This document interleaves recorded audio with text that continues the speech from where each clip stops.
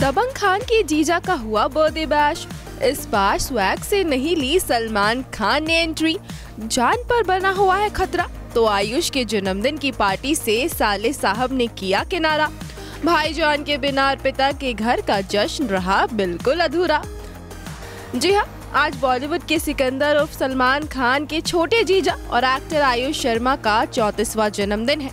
तो अपने खास दिन का जश्न आयुष ने मिडनाइट ही सेलिब्रेट भी कर लिया। बीती रात शुक्रवार को आयुष के जन्मदिन की पार्टी उन्हीं के घर पर होस्ट की गई थी, जिसमें पूरी शर्मा फैमिली के साथ साथ अर्पिता के मायके वाले भी शामिल हुए थे। हाँ बस इस सेलिब्रेशन से अर्पिता के सबसे बड़े भाई सलमान खान नदाराधीर रहे, जिसका सबूत आप आयुष के बोधे बैच से सामने आए इस वीडियो में देख सकते हैं, जहाँ बोधे बॉय को वाइफ अर्पिता और दोनों बच्चों आहिलायत के साथ अपना बर्थडे केक कट करते हुए देखा जा सकता है।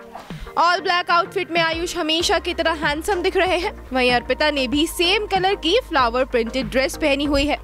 आहिल अपने पापा के साथ फ्लोर पर ही खड़े हुए हैं तो उनकी लिटिल प्रिंसेस चेयर पर खड़े होकर पापा का बर्थडे केक कटवा रही है। केक कट करते ही आयुष ने सबका मुँह मीठा करवाया और इस दौरान सब उनके लिए बर्थडे सॉन्ग भी गाते हुए नज़र आए। वीडियो में आप आयुष के साले साहब सोहेल और अरबाज की भी एक हल्की सी झलक देख सकते हैं। इतना ही नहीं, अर्पिता की बहन अलविरा के पति अतुल अग्निहोत्री को भी आप यहाँ देख सकते हैं। हाँ बस सलमान को इस खुशी के मौके पर कहीं नहीं देखा गया। हालाँकि उनके बॉडीगार्ड और खान परिवार के भरोसेमंद शेरा ज़रूर यहाँ पहुँचे थे। वहीं सलमान के वीडियो में ना दिखने पर उनके चाहने वालों और सोशल मीडिया पर मौजूद यूज़र्स ने भी हैरानी जताई है। तभी तो एक शख्स ने इस वीडियो के कमेंट सेक्शन में लिखा है, भाईजान किधर है?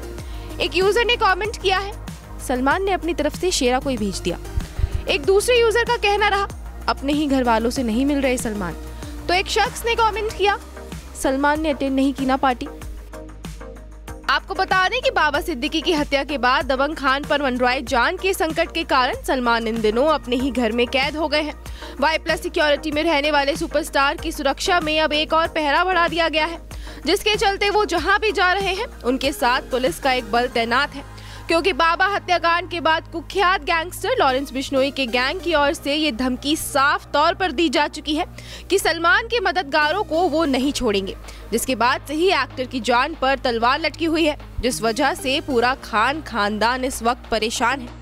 वहीं हाल ही में आई रिपोर्ट्स में तो ये तक दावा किया गया था कि अपने खास दोस्त बाबा की हत्या के बाद सलमान ने खाना भी छोड़ दिया है और वो सिर्फ़ पानी पीकर गुजारा कर रहे हैं। गौरतलब है कि सलमान खान भले ही काला हिरन शिकार मामले में कोर्ट से बाइज्जत बरी हो चुके हैं, लेकिन बिश्नोई समाज आज भी उनसे माफ़ी की उम्मीद किए हुए बैठा है। इसी वजह से गैंगस्टर लॉरेंस बिश्नोई ने उन्हें लगातार जान से मारने की धमकी भी दी है। Bureau report E twenty